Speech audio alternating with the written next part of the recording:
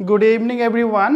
আমি যিটো H S L C determiners class টেনৰ নাইনটিন নাইণ্টি নাইন চনৰ পৰা ষ্টাৰ্ট কৰি টু থাউজেণ্ড টুৱেণ্টিলৈ অহা ভইচ চেঞ্চবোৰ আমি এটাৰ পিছত এটা ধুনীয়াকৈ প্ৰেক্টিছ কৰি আছোঁ। গতিকে আজিৰ ক্লাছত আমি প্ৰেক্টিছ কৰিম। টু থাউজেণ্ড ফাইভৰ পৰা ষ্টাৰ্ট কৰি টু থাউজেণ্ড ছেভেনলৈ যিকেইটা ভইচ চেঞ্চ দিয়া হৈছিল সেইকেইটা আমি ইয়াত ধুনীয়াকৈ প্ৰেক্টিছ কৰিম।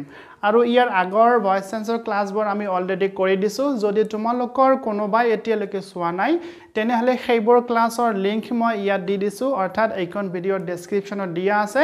তোমালোকে চাই ল'ব পাৰিবা। চ' মাই ডিয়াৰ ষ্টুডেণ্ট তেনেহ'লে মই এতিয়া লেট নকৰাকৈ ষ্টাৰ্ট কৰি দিওঁ। জাষ্ট তোমালোকে মনোযোগেৰে শুনিবলৈ চেষ্টা কৰিবা। চ' মই প্ৰথমত টু থাউজেণ্ড ফাইভৰ কুৱেশ্যন দুটা লিখি ৰাখিছোঁ। তোমালোকে অলৰেডি হয়তো দেখিব পাৰিছা। মই এতিয়া প্ৰথম কুৱেশ্যনটো পঢ়ি দিছোঁ। তোমালোকে ভালদৰে শুনিবা।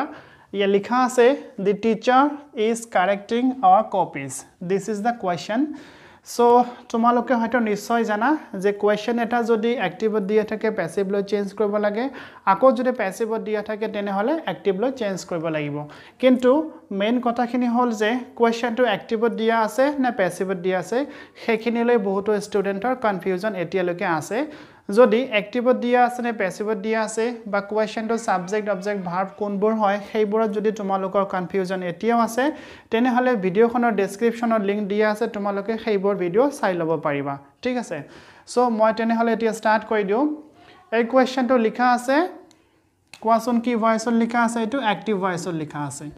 The question has been written in active voice now we have to change it into passive voice okay so এতিয়া চেঞ্জ কৰিবলৈ হ'লে first we have to find out the subject, verb and object. Then we can change it easily. So in this sentence, the subject is the teacher, this is the verb and our uh, copies is the object here. This is very simple and easy question. So এতিয়া আমি subject verb অবজেক্টখিনি পাই গ'লোঁ কুৱেশ্যনটো এক্টিভত লিখা আছে সেইখিনি আমি বুজিব পাৰিলোঁ চ' এতিয়া আমি পেচিভলৈ চেঞ্জ কৰিম চ' পেচিভলৈ চেঞ্জ কৰিবলৈ হ'লে কি কি কৰিব লাগে সেইখিনি হয়তো তোমালোকে জানাই। যিটো এক্টিভ যিটো এক্টিভ ভইচত অবজেক্ট দি আছে সেইটো ছাবজেক্ট বনাব লাগিব। And in this sentence the object is our copies so' we have to make this our copies object as subject in the active in the passive voice so' এতিয়া আমি লিখিলোঁ our copies okay এতিয়া আমি অবজেক্টটো ইয়াত প্ৰথমত লিখি দিলোঁ। এতিয়া আমি কুৱেশ্যনটোলৈ পুনৰ এবাৰ যাম। কিহৰ কাৰণে যাম? আমি দেখিম যে কুৱেশ্যনটো কি টেন্সত লিখা আছে। বিকজ ছাবজেক্টটো লিখাৰ পিছত আমাৰ ইয়াত পেচিভ ভইচত হেল্পিং ভাৰ্বৰ প্ৰয়োজন হয়। প্ৰতিটো ভইচ চেঞ্চৰ ক্ষেত্ৰতে প্ৰয়োজন হ'বই। চ' এতিয়া আমি দেখা পালোঁ যে কুৱেশ্যনটো প্ৰেজেণ্ট কণ্টিনিউৱাছ টেন্সত লিখা আছে। এম ই ছাৰ তাৰপিছত ভাৰ্বৰ ফ'ৰ্থ ফৰ্ম অৰ্থাৎ ভাৰ্বৰ লগত আই এন জি যোগ হৈ আছে গতিকে এইটো গঠন কাৰ হয় প্ৰেজেণ্ট কণ্টিনিউৱাছ টেন্সৰ হয় তোমালোকে হয়তো নিশ্চয় জানা। চ' আমি বুজা পালোঁ যে কুৱেশ্যনটো প্ৰেজেণ্ট কণ্টিনিউৱাছ টেন্সত লিখা আছে এতিয়া প্ৰেজেণ্ট কণ্টিনিউৱাছ টেন্সৰ যি হেল্পিং ভাৰ্ব বা টু বি ভাৰ্ব সেইটো লিখিব লাগিব কিন্তু ছাবজেক্ট অনুসৰিহে লিখিব লাগিব। আৰু প্ৰেজেণ্ট কণ্টিনিউৱাছ টেন্সৰ হেল্পিং ভাৱ তোমালোকে নিশ্চয় জানা এম ইজ আৰ চ' ইয়াৰ ছাবজেক্টটো দিয়া আছে our copies this is the plural subject so' plural ছাবজেক্টৰ লগত সদায় আমি আৰ ব্যৱহাৰ কৰিম। চ' ইয়াত আমি কি লিখিম? আৰ লিখিম। ইজ আৰু এম নিলিখিম। চ' আমি কি লিখিলোঁ? আৱাৰ কপিজ আৰ অ'কে এতিয়া আমি কি লিখিম? তোমালোকে মনত ৰাখিবা যদি তোমালোকে নাজানা যে টু বি ভাৰ্ব বা হেল্পিং ভাৰ্ব লিখাৰ পিছত আমি সদায় এটা বিং লিখিম B E I N G I repeat it once again যদি কুৱেশ্যনটো কণ্টিনিউৱাছ টেন্সত হয় যিকোনো কণ্টিনিউৱাছ টেন্স হ'ব পাৰে। কণ্টিনিউৱাছ টেন্স যদি হয় তেনেহ'লে আমি টু বি ভাৰ্বটো লিখাৰ পিছত সদায় বিং শব্দটো লিখিম। So' this is the most important point you have to remember it so' আমি ইয়াত being লিখিলোঁ। B E I N G okay এতিয়া বিং লিখাৰ পিছত সদায় আগৰ নিচিনাকৈ ভাৰ্বত থাৰ্ড ফৰ্ম লিখিব লাগে। তোমালোকে নিশ্চয় জানা যে যেতিয়া আমি এক্টিভ ভইচটো পেচিভলৈ চেঞ্জ কৰোঁ তেতিয়া সদায় ভাৰ্বৰ থাৰ্ড ফৰ্মটো ইউজ কৰোঁ। So' in this sentence the verb is correcting and the main verb is correct আমি কাৰেক্টৰ থাৰ্ড ফৰ্ম লিখিম কাৰেক্টেড তোমালোকে মনত ৰাখিবা সদায় মেইন ভাৰ্ববোৰৰহে ভাৰ্বত থাৰ্ড ফৰ্ম লিখিবা এইবোৰ ভাৰ্বৰ নহয়। চ' এতিয়া আমি কি লিখিম? কাৰেক্টেড আমি ভাৰ্বত থাৰ্ড ফৰ্মটো লিখি দিলোঁ যে our copies are being corrected আমাৰ কপি আমাৰ কপিজবোৰ কাৰেক্টেড হৈ আছে কাৰ দ্বাৰা? দি টিচাৰ টিচাৰসকলৰ দ্বাৰা। বাই ইয়াত আমি প্ৰেপজিশ্যন লিখিম বাই দি টিচাৰ চ' তোমালোকে যদি বিচৰা তোমালোকে এনেকৈ লিখিব পাৰা our copies are being corrected ইয়াতে তোমালোকে শেষ কৰি দিব পাৰা। ইয়াতে ৰাখিলেও শুদ্ধ হ'ব হাণ্ড্ৰেড পাৰ্চেণ্ট শুদ্ধ হ'ব। আৰু ইয়াতে ৰাখিলে বেছি ভাল হ'ব। আৰু যদি তোমালোকে বিচৰা যে our copies are being corrected by the teacher তেতিয়াও শুদ্ধ হ'ব। কিন্তু ইয়াত ৰাখিলে বেছি শুদ্ধ হ'ব। কাৰণ ইয়াত আমি বুজাই পাওঁ যে আমাৰ কপিসমূহ চেঞ্জ চেঞ্জ মানে কাৰেক্ট হৈ আছে। তেনেহ'লে আমি বুজাই পালোঁ যে কপিবোৰ কোনে কাৰেক্ট কৰিব টিচাৰে কাৰেক্ট কৰিব। চ' যদি তোমালোকে ভাবা কাৰেক্টেড লৈ আমি শেষ কৰি দিওঁ তথাপিও শুদ্ধ হ'ব। আৰু যদি তোমালোকে ভাবা গোটেইখিনি লিখি দিওঁ by the teacher that's also' be corrected okay so' মই আশা কৰিম তোমালোকে হয়তো নিশ্চয় বুজিব পাৰিছা। যদি বুজিব পাৰিছা তেনেহ'লে কমেণ্ট বক্সত য়েছ বুলি লিখিবা। Okay so' my dear student এইখিনিতে মই তোমালোকক আন এটা কথা জনাই দিওঁ যে তোমালোকৰ যিবোৰ ভইচ চেঞ্জ আছে অৰ্থাৎ নাইনটিন নাইণ্টি নাইন চনৰ পৰা ষ্টাৰ্ট কৰি টু থাউজেণ্ড টুৱেণ্টি চনলৈ যিমানবোৰ ভইচ চেঞ্জ আছে সেইবোৰ ভইচ চেঞ্জৰ আনচাৰৰ মই এখন পি ডি এফ ফাইল বনাই দিছোঁ আৰু ফাইলখন মোৰ ৱেবছাইটত এভেইলেবল আছে। তোমালোকে মোৰ ৱেবছাইটত যাই পেলাই সেই ফাইলখন ডাউনলোড কৰি ল'ব ল'ব পাৰিবা। আৰু মোৰ ৱেবছাইটটো ইয়াত লিখি দিছোঁ মই আগতো কৈছোঁ W W W dot gradual learning dot com এইখন এইটো ৱেবছাইটত তোমালোকৰ ষ্টাডি মেটেৰিয়েলছবোৰো তাতে এভেইলেবল আছে যিবোৰ ষ্টাডি মেটেৰিয়েলছ তোমালোকৰ এইচ এছ চি এক্সামিনেশ্যনৰ বাবে ইম্পৰ্টেণ্ট হয় তোমালোকে তাতে পাবা ঠিক আছে? চ' এতিয়া মই নেক্সট কুৱেশ্যনলৈ আগুৱাই যাওঁ। ইয়াত লিখা আছে question number B my book has been stolen this is the most important question আমি টু থাউজেণ্ড ফ'ৰ থ্ৰী আৰু টু এই তিনিটা চনৰ যিকোনো এটা চনত আমি এইটো কুৱেশ্যন সমাধান কৰিছোঁ। ডেট মিনছ আগৰ চনবোৰত আগৰ চনৰ কুৱেশ্যন পেপাৰত এইটো কুৱেশ্যন আমি অলৰেডি ছল্ভ কৰিছোঁ। গতিকে কুৱেশ্যনটো মই ইয়াত এক্সপ্লেইন নকৰিম জাষ্ট মই আনচাৰটো লিখি দিওঁ। তোমালোকে আগৰ ভিডিঅ'বোৰ চাব পাৰিবা তাতে এইটো কুৱেশ্যন অলৰেডি এক্সপ্লেইন কৰি দিয়া আছে। মষ্ট ইম্পৰ্টেণ্ট কুৱেশ্যন তোমালোকে চাই ল'বা। মই আনচাৰটো ইয়াতে ডাইৰেক্ট লিখি দিছোঁ। কুৱেশ্যনটো দি আছে my book has been stolen so' the answer will be here someone has stolen my book okay this is the answer তোমালোকে আনচাৰটো মোৰ আগৰ ক্লাছৰ ভিডিঅ'বোৰ চাবা তাতে দিয়া আছে। কাৰণ এই কুৱেশ্যনটো কেইবাবাৰো ৰিপিট হৈছে গতিকে মই ইয়াত এক্সপ্লেইন নকৰিলোঁ জাষ্ট আনচাৰটো লিখি দিলোঁ। আৰু এক্সপ্লেনেশ্যনৰ বাবে তোমালোকে মোৰ আগৰ ক্লাছৰ ভিডিঅ'বোৰ চাবা তাতে তোমালোকে এইটো কুৱেশ্যনৰ এক্সপ্লেনেশ্যনখিনি ভালদৰে জানিব পাৰিবা আৰু বুজিব পাৰিবা। চ' এতিয়া আমি টু থাউজেণ্ড ফাইভৰ যি দুটা কুৱেশ্যন আছে সেই দুটা সমাধান কৰিলোঁ। তোমালোকে হয়তো নিশ্চয় বুজি বুজিব পাৰিছা। চ' বুজিবলৈ চেষ্টাও কৰিবা। এতিয়া আমি টু থাউজেণ্ড ছিক্সৰ যি দুটা কুৱেশ্যন আছে সেই দুটা সমাধান কৰিম। চ' মই প্ৰথমত ফাৰ্ষ্ট কুৱেশ্যনটো এবাৰ পঢ়ি দিছোঁ। ইয়াত লিখা আছে our teacher buys books every month this is the question so' আগৰ নিচিনাকৈ আমি প্ৰথমত চাই ল'ম। এক্টিভত লিখা আছে নে পেচিভত লিখা আছে। So' after going through this question we understood that the question has been written in active voice এইটো এটা এক্টিভ ভইচ হয়। চ' লাইক ৱাইজ আমি এইটো কিহত চেঞ্জ কৰিম? পেচিভলৈ চেঞ্জ কৰিম। চ' পেচিভলৈ চেঞ্জ কৰিলে আগৰ নিচিনা নিয়মখিনি যে ছাবজেক্ট অবজেক্ট এণ্ড ভাৰ্ব আমি ফাইণ্ড আউট কৰিম so' in this sentence the subject is the subject is our teacher and buys is a verb and the books is object and this is the extension okay this is the question এতিয়া আমি change কৰিবলৈ ওলাইছোঁ চ' first আমি কি কৰিম অবজেক্টটো প্ৰথমত লৈ আহিম পেচিভ কৰিবলৈ হ'লে অবজেক্টটো কি দি আছে? বুকছ দি আছে। চ' আমি প্ৰথমত বুকছ লিখিলোঁ।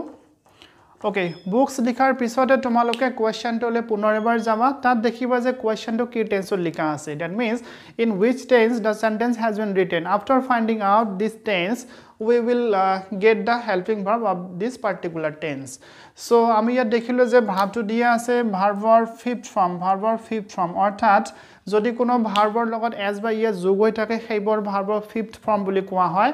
আৰু তেনেকুৱা ভাৰ্ব সদায় প্ৰেজেণ্ট ইনডিফিনিট টেন্সত থাকে। আৰু তোমালোকে এটা কথা মনত ৰাখিবা যদি কোনো চেণ্টেন্সৰ টেন্স ধৰিব লগা হয় তেনেহ'লে তোমালোকে সদায় ছাবজেক্টৰ ওচৰত থকা মেইন ভাৱটো তোমালোকে ভালদৰে চাবা বা হেল্পিং ভাৱটো যিটো দিয়া আছে সেইটো চাবা। তেনেহ'লে তোমালোকে টেন্সটো ভালদৰে ধৰিব পাৰিবা।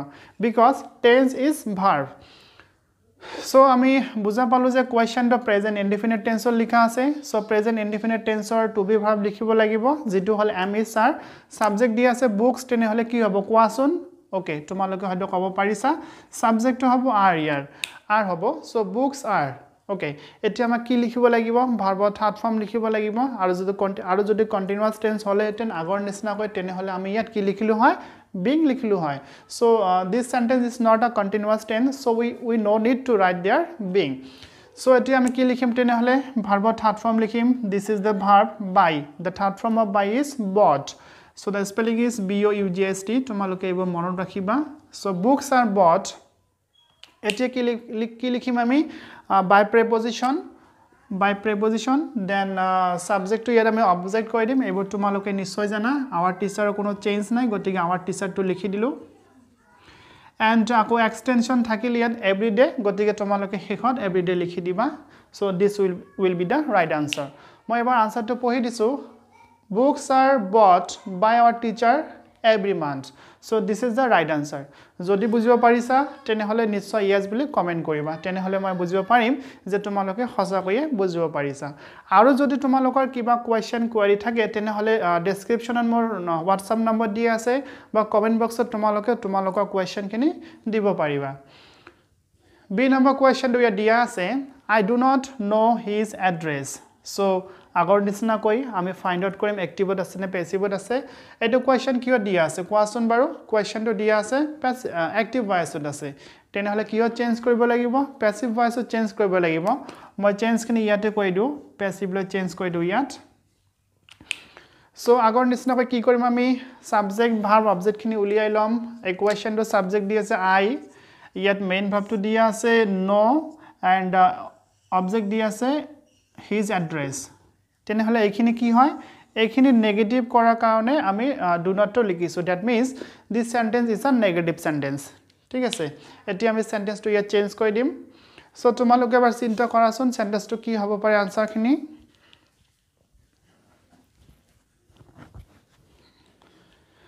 অ'কে তোমালোকে হয়তো চিন্তা কৰিব পাৰিছা। তেনেহ'লে প্ৰথমত কি লিখিব লাগিব? আমি কি কৰিম? প্ৰথমত অবজেক্টটো ছাবজেক্ট বনাই দিম। তো ইয়াত কি দিয়া আছে? হিজ এড্ৰেছ চ' আমি প্ৰথমত কি লিখিম? হিজ এড্ৰেছ অ'কে আমি লিখিলোঁ। His address লিখিলোঁ। তাৰপিছত আমাক কি লিখিব লাগে? আমাৰ টেজ অনুসৰি হেল্পিং ভাৱটো লিখিব লাগে বা টু বি ভাৱটো লিখিব লাগিব। এই কুৱেশ্যনটো কি টেন্সত লিখা আছে? কোৱাচোন বাৰু। কুৱেশ্যনটো প্ৰেজেণ্ট ইনডিফিনিট টেন্সত লিখা আছে। ইয়াত ভাৱটো দি আছে ভি ওৱান ফৰ্ম আৰু নেগেটিভ কৰাৰ কাৰণে আমি ডু নট লিখিছোঁ। ডুটো ক'ৰ পৰা আনিছোঁ আমি? মেইন ভাৰ্বৰ পৰা আনিছোঁ। একচুৱেলি মেইন চেণ্টেঞ্চটো কি আছিল? কোৱাচোন বাৰু। মেইন চেণ্টেঞ্চটো আছিল অৰ্থাৎ আচাৰ্টিভ চেণ্টেঞ্চটো আছিল আই ন' হিজ এড্ৰেছ প্ৰথমে চেণ্টেঞ্চটো এনেকুৱা আছিল কাৰণ এছাৰ্টিভ চেণ্টেঞ্চৰ পৰাহে নেগেটিভ চেণ্টেঞ্চটো বনোৱা হয়। এফাৰ্মেটিভ চেণ্টেঞ্চৰ পৰাহে বনোৱা হয়। চ' এইটো প্ৰথমত এফাৰ্মেটিভ চেণ্টেঞ্চ আছিল এনেকৈ আই ন' হিজ এড্ৰেছ এতিয়া নেগেটিভ কৰিবলৈ হোৱাত আমি কি কৰিছোঁ? নট এটা লিখিছোঁ আৰু নটৰ সন্মুখত যিহেতু হেল্পিং ভাৰ্বৰ প্ৰয়োজন হয় সেইবাবে কুৱেশ্যনটো যিহেতু আগৰে পৰা হেল্পিং ভাৰ্ব নাই চ' আমি ন' ভাৰ্বৰ পৰা ডু ভাৰ্বটো হেল্পিং ভাৰ্ব হিচাপে লৈছোঁ আৰু ফুল চেণ্টেঞ্চটো তেতিয়া হৈ গ'ল I do not know' his address this is the question so' এতিয়া আমি কুৱেশ্যনটোৰ আনচাৰ যিটো লিখিম পেচিভ ভইচত সেইটো নেগেটিভ হ'ব লাগিব। এতিয়া এতিয়া দেখা হিজ এড্ৰেছ এতিয়া আমি কি লিখিম? টু বি ভাৰ্ব লিখিম। আৰু এইটো যিটো প্ৰেজেণ্ট ইনডিফিনিট টেন্স হয় টু বি ভাৰ্ব কি হ'ব? এম ই ছাৰ হ'ব। গতিকে আমি এম ই ছাৰৰ ইজ লিখিলোঁ কাৰণ ইয়াত হিড এড্ৰেছ দিয়া আছে। So' his his address is এতিয়া আমি হেল্পিং ভাৱটো পালোঁ অৰ্থাৎ টু বি ভাৱটো পাই গ'লোঁ। চ' টু বি ভাৱৰ পিছত আমি নেগেটিভত নটটো লিখি দিম। যিহেতু কুৱেশ্যনটো নেগেটিভত আছে সেইকাৰণে আমি ইয়াত নটটো লিখি দিলোঁ। So' his address is not এতিয়া কি লিখিব লাগিব? ভাৰ্বৰ থাৰ্ড ফৰ্ম লিখিব লাগিব। ইয়াত ভাৱটো কি দি আছে? ন' দি আছে। ন' থাৰ্ড ফৰ্ম হ'ব নন এতিয়া থাৰ্ড ফৰ্ম লিখাৰ পিছত প্ৰেপজিশ্যন লিখিব লগা হয়। আমি ইমান সময়লৈকে এটা প্ৰেপজিশ্যন পাই আছিলোঁ যিটো হ'ল বাই কিন্তু সকলো ভাৰ্বৰ লগত বাই প্ৰেপজিশ্যন ব্যৱহাৰ কৰা নহয়। তোমালোকে এইখিনিতে মনত ৰাখিবলৈ চেষ্টা কৰিবা বা নোট ডাউন কৰি ৰাখিবা যে নন ভাৰ্বৰ লগত অৰ্থাৎ ন' ভাৰ্বৰ লগত পেচিভ ভইচত সদায় টু লিখা হয়। ডেট মিনছ পেচিভ ভইচত ননৰ লগত সদায় টু প্ৰেপজিশ্যন ইউজ কৰা হয়। This is the most important point you need to remember it so' his address is not known to এতিয়া ছাবজেক্ট যিটো আছে অবজেক্ট বনাই দিম আই ডি আছে তাত ইয়াত কি হ'ব তেনেহ'লে তোমালোকে জানা নন মি হ'ব। So' his address is not known to me so' this is the right answer এতিয়া ইয়াতে এটা কুৱেশ্যন তোমালোকৰ হয় মই কৈ আছোঁ। তোমালোকে হয়তো বহুতে ভাবি আছা যে ইয়াত যিটো ডু দি আছে ডুটো ক'ত গ'ল? ডুটো মই ইয়াত লিখা নাই। ইয়াত ডু দি আছে ইয়াত ডু লিখা নাই মই। ঠিক আছে? চ' ইয়াত ডু ক'ৰ পৰা আহিছিল? ডু আহিছিল ন' ভাৰ্বৰ পৰা নেগেটিভ বনোৱাৰ কাৰণেহে আমি ন'ৰ পৰা ডু হেল্পিং ভাৰ্ব হিচাপে লৈছিলোঁ। এতিয়া যিহেতু আমি এই কুৱেশ্যনটো পেচিভলৈ চেঞ্জ কৰি আছোঁ আৰু পেচিভলৈ চেঞ্জ কৰাৰ ক্ষেত্ৰত আমাৰ যিটো ষ্ট্ৰাকচাৰ পেচিভৰ গঠন সেইটো হ'ল প্ৰথমে ছাবজেক্টটো লিখিব লগা হয় আৰু তাৰপিছত যিটো টেন্সত থাকিব সেইটো টেন্সৰ হেল্পিং ভাৱটো লিখিব লগা হয় টু বি ভাৱটো লিখিব লগা হয়। চ' আমি এইটো প্ৰেজেণ্ট টেন্সত আছে সেইকাৰণে সেই present টেন্সৰ helping verb to be verb যিহেতু ইজ হয় এম ইজ আৰ হয় সেইকাৰণে আমি হেল্পিং ভাৱটো এম ইজ আৰ ইয়াত পাই গ'লোঁ। যদি হেল্পিং ভাৱ আমি এম ইজ আৰ পাই গ'লোঁ তেনেহ'লে আৰু দুটি ডাছৰ প্ৰয়োজন নহয়। ইয়াত যিহেতু আগৰে পৰা এম ইজ আৰ হেল্পিং ভাৰ পোৱা নাই বা ইয়াত নাই সেইবাবেহে আমি ডু ভাৱটো লৈছোঁ। আৰু যিহেতু আমি গঠনত বা গঠন হিচাপত আমি হেল্পিং ভাৱ অলৰেডি এম ইজ আৰ পাই গ'লোঁ গতিকে ডুৰ আৰু ইয়াত প্ৰয়োজন নাই। আৰু যিহেতু ডুৰ প্ৰয়োজন নাই আমি এম ইজ আৰ লিখিলোঁ আৰু এম ইজ আৰৰ পিছত আমি কি লিখিলোঁ? নেগেটিভৰ নটটো লিখি দিলোঁ। আৰু বাকীখিনি হৈ গ'ল। ঠিক আছে? চ' আই হোপ তোমালোকে বুজিব পাৰিছা। চ' মাই ডিয়াৰ ষ্টুডেণ্ট এতিয়া মই টু থাউজেণ্ড ছেভেনৰ কুৱেশ্যন দুটা ইয়াত এক্সপ্লেইন কৰি দি আছোঁ। তোমালোকে জাষ্ট এবাৰ কুৱেশ্যনটো চাই লোৱাচোন। হয়তো তোমালোকে কুৱেশ্যন দুটা দেখি লৈছা। এতিয়া মই কুৱেশ্যন দুটা এটাৰ পিছত এটা সমাধান কৰি দি আছোঁ। ইয়াত লিখা আছে I have posted the letters কুৱেশ্যনবোৰ খুবেই ইম্পৰ্টেণ্ট হয় আৰু খুবেই ইজি হয় আৰু এনেকুৱা ধৰণৰ কুৱেশ্যনে তোমালোকৰ এক্সামিনেশ্যনত দেখা পোৱা যায়। চ' আগৰ নিচিনাকৈ আমি আগুৱাই যাম। ফাৰ্ষ্ট কুৱেশ্যনটো এক্টিভত দি আছে নে পেচিভত দি আছে সেইটো বিচাৰি ল'ম। কুৱেশ্যনটো এক্টিভত দিয়া আছে তেনেহ'লে পেচিভলৈ চেঞ্জ কৰিব লাগিব। চ' পেচিভলৈ চেঞ্জ কৰিবলৈ হ'লে ছাবজেক্ট অবজেক্ট ভাৰ্বখিনি চিনাক্তকৰণ কৰিব লাগিব। দিছ ইজ দ্য ছাবজেক্ট এইটো ভাৰ্ব হয় এইটো অবজেক্ট হয়। খুবেই ইজি চেণ্টেঞ্চ হয় এতিয়া আমি চেঞ্জ কৰিম। চ' প্ৰথমত কি লিখিম? অবজেক্টটো ছাবজেক্ট বনাই দিম। মই অলপ স্পীডত কৈ দি আছোঁ because the questions are so' easy the letters আমি প্ৰথমে লিখিলোঁ দি দি লেটাৰ্ছ অ'কে এতিয়া টু বি ভাৱ লিখিব লাগিব। টেন্সটো কি টেন্সত দিয়া আছে? এইখিনি চালে হৈ গ'ল। হেজ এপ দিয়া আছে আৰু ভাৰ্বৰ থাৰ্ড ফৰ্ম দিয়া আছে।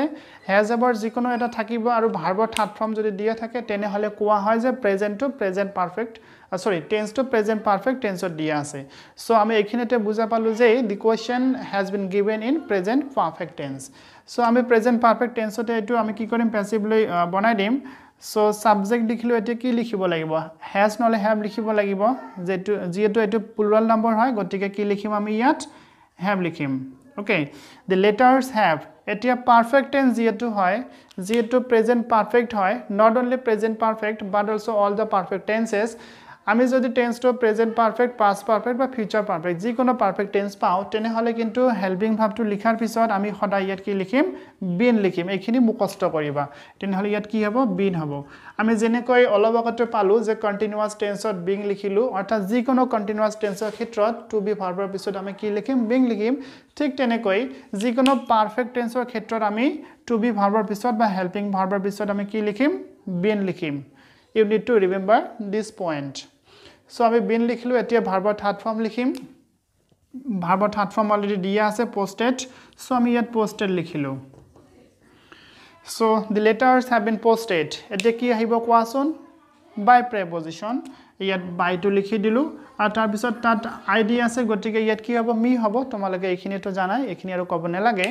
চ' মই আনচাৰটো এবাৰ পঢ়ি দিছোঁ the letters have been posted by me this is the right answer যদি বুজিব পাৰিছা কমেণ্ট বক্সত য়েছ লিখিবলৈ নাপাহৰিবা দেই। So' this is the last question of this class the question is the lady helps the poor this is the question so' তোমালোকে হয়তো নিশ্চয় সমাধান কৰিব পাৰিবা। চ' তেনেহ'লে এই কুৱেশ্যনৰ আনচাৰটো মই ইয়াত কৈ নিদিওঁ। এই কুৱেশ্যনৰ আনচাৰটো তোমালোকে নিজে কৰিবা। কৰাৰ পিছত তোমালোকে মোৰ হোৱাটছআপ নম্বৰ নহ'লে কমেণ্ট বক্সত আনচাৰটো পঠাই দিবা। মই চেক কৰি তোমালোকক চাই দিম ঠিক আছে?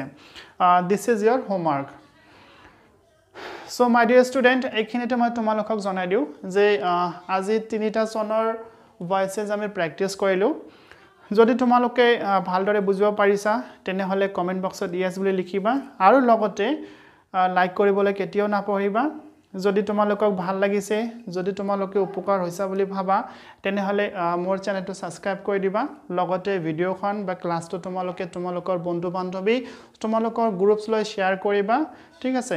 আৰু লগতে ওচৰত থকা ন'টিফিকেশ্যন বেলটো প্ৰেছ কৰিবলৈ নাপাহৰিবা। কাৰণ মই তোমালোকৰ বাবে যেতিয়া এনেকুৱা ধৰণৰ ক্লাছ কৰিম সেইবোৰ ক্লাছৰ ন'টিফিকেশ্যন তোমালোকে অতি সোনকালে পাই যাবা। সেইবাবে তোমালোকে ন'টিফিকেশ্যন বেলটো প্ৰেছ কৰি দিবা বা অন কৰি দিবা ঠিক আছে? চ' তেনেহ'লে মই ইয়াতে আজি ক্লাছটো শেষ কৰি দিওঁ। আমি নেক্সট ক্লাছত পুনৰ কথা পাতিম। এনেকুৱা ধৰণৰ ভইচ চেঞ্জবোৰ সমাধান কৰিম। আৰু তোমালোকৰ এক্সামিনেশ্যনৰ বাবে যিবোৰ ইম্পৰ্টেণ্ট মেটেৰিয়েলছ হয় সেইবোৰৰ বিষয়ে আমি আলোচনা কৰিম। মই শেষ কৰাৰ আগতে পুনৰ এবাৰ জনাই দিওঁ। এইটো ৱেবছাইটত তোমালোকৰ গোটেইবোৰ ষ্টাডি মেটেৰিয়েলছ এভেইলেবল আছে। তোমালোকে তাত যাই পেলাই ডাউনলোড কৰি ল'ব পাৰিবা। চ' মাই ডিয়াৰ ষ্টুডেণ্ট তেনেহ'লে মই ৰাখিছোঁ। তো আজিলৈকে এইখিনিয়ে। Thank you have a good day'